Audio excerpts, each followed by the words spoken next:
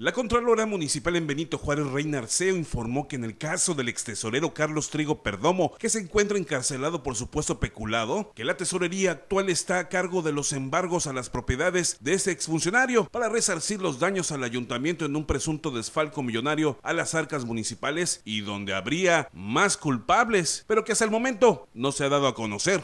Ya están incautadas las propiedades, eso lo está viendo directamente la tesorería municipal. Son tres procedimientos que se tienen que llevar a cabo lo que es el incautamiento de las propiedades, la denuncia penal y lo correspondiente a lo administrativo.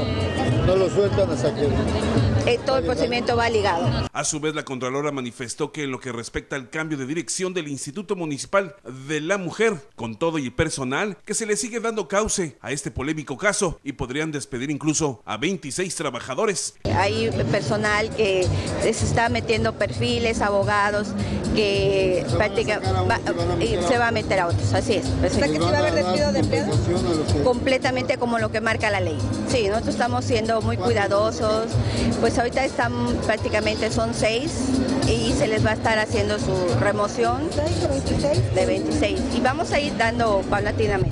Con imágenes de Javier Valladares, Juan Carlos Mendoza, Notivisión.